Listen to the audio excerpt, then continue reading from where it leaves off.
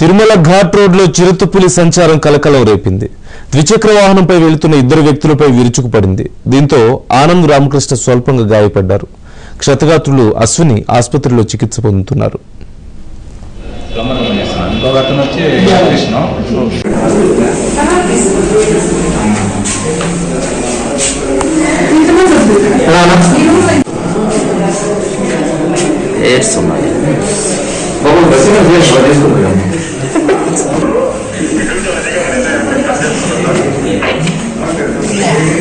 Hello,